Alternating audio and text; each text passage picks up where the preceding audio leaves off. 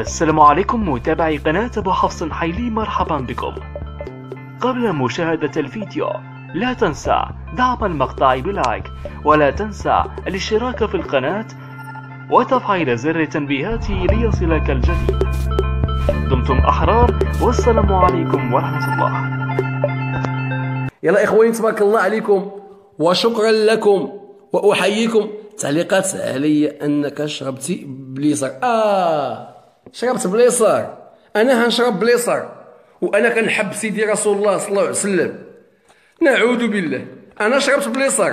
أنا هنشرب بليصر. نعوذ بالله. والله العظيم حتى نقطع يمها هاد اليد. وما شربتش بيها بليمن. هذا ليمن هذا.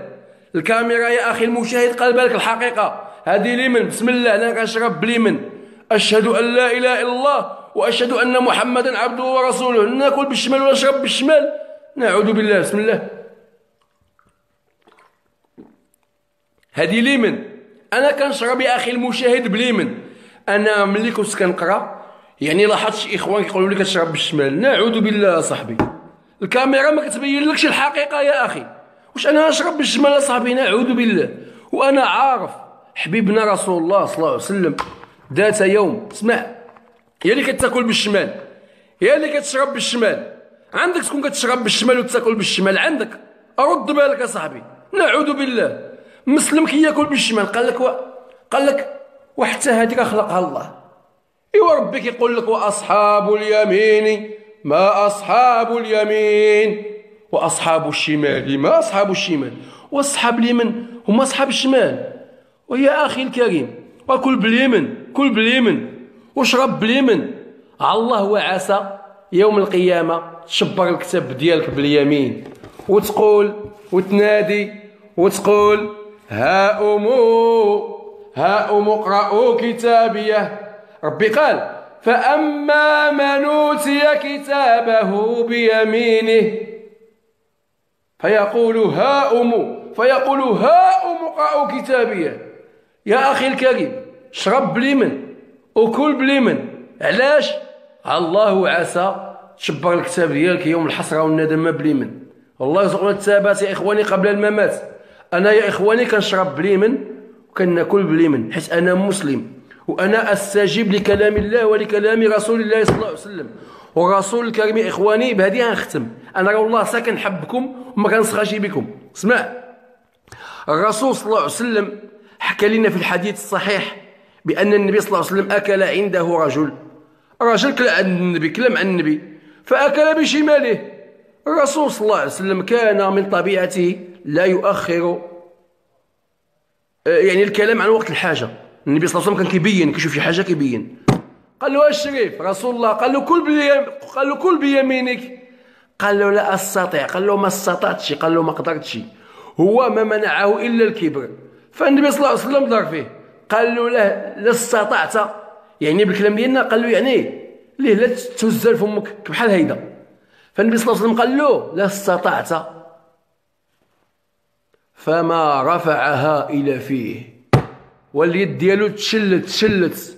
يا اللي كتخالف النبي يا اللي كتعصى رسول الله صلى الله عليه وسلم في, في كثير ديال المعاملة ديالنا في الحياة الدنيا وفي الحياة ديالنا. يا اللي كتخالف النبي. عندك؟ راه لقاك البوليسي غادي في الشانطي صايق السيارة ولا الطيارة هذيك وما عامل شي حزام السلامة تخلص procès. علاش؟ ايوا المخالفة. كما كيقولوا القانون لا يحمي القوم مغفلين ايوا واللي كيخالف الدين. واللي كيخالف ديال الله عز وجل. الدين الدين اللي من اجله رب العالمين وجدنا به يعني من اجله وجدنا الله عز وجل في هذه الحياة. راه يا أخي المشاهد حنا ما خلقناش الله عز وجل هباء هباء.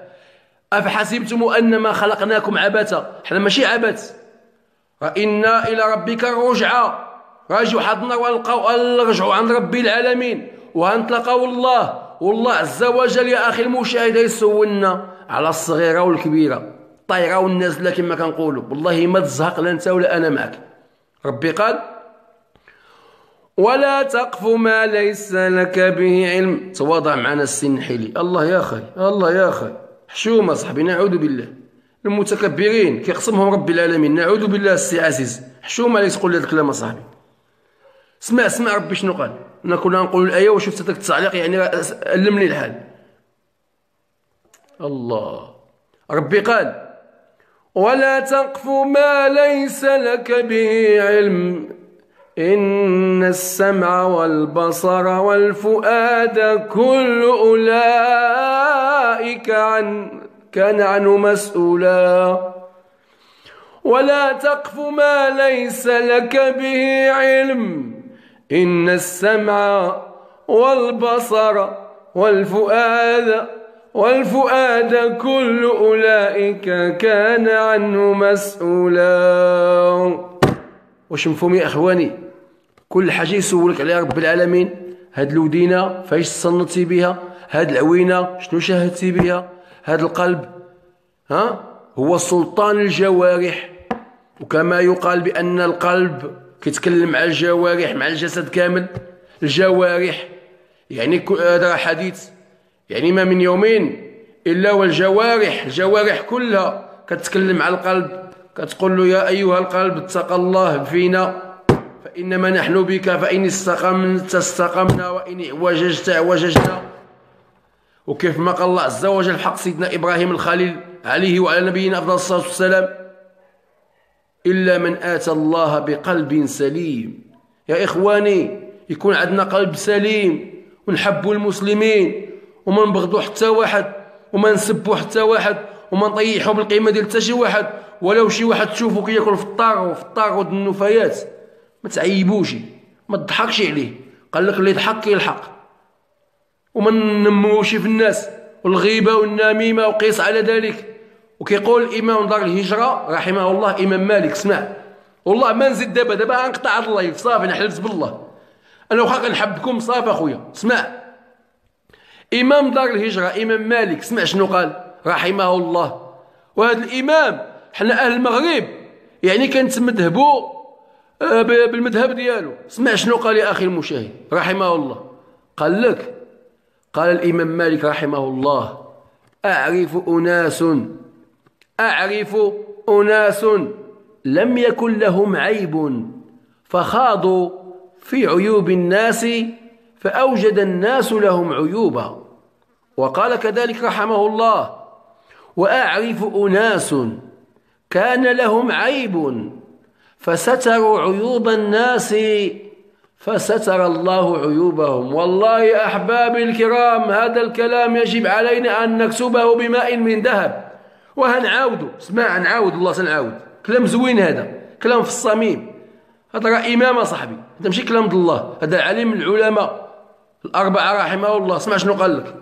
قال لك أعرف أناس لم يكن لهم عيب فخاضوا في عيوب الناس فأوجد الناس لهم عيوبا. وأعرف أناس كان لهم عيب فستروا عيوب الناس فستر الله عيوبهم. أصدقائي الكرام أحييكم تحية طيبة وأستودعكم الله الذي لا تضيع ودائعه وأليس الصبح بقريب؟ والسلام عليكم. طابت أوقاتكم بكل خير. إلى اللقاء. إلى اللقاء يا أحباب. شكرا لكم. وما تنساش يا أخي المشاهد تابعني. أنا كنتكلم مع المحبين هذا العرض الضعيف يا اللي كتسحب هذا العرض الضعيف ها القناة ديالي. دخل القناة وشوف واحد الفيديو يعني راه عامل لي البوز. راه في الطوندوز ديال اليوتيوب. ها هو دخل له وعمل لي ابوني وما تنساش تضرب لي داك الجرس حتى تتوصل بكل جديد إن شاء الله. والسلام عليكم. طابت أوقاتكم بكل خير. الله يحفظك أخويا الله يحفظك الله يحفظك. الله يرحم الوالدين. الله يلاقينا في الجنة إن شاء الله مع حبيبنا رسول الله. والسلام عليكم. علاش ما نقولوش صدق الله العظيم؟ ما صافي اخويا إحنا هضرنا السلام عليكم. الحفظ بالله ما نزيد شي. الله يرحم الوالدين. وما تنساش يا أخي المشاهد تعمل لي أبوني. تبارك الله عليكم. السلام عليكم ورحمة الله. يا سلام يا سلام يا سلام يا سلام! ولا تنسى الاشتراك في القناة وتفعيل زر التنبيهات ليصلك الجديد. دمتم أحرار والسلام عليكم ورحمة الله.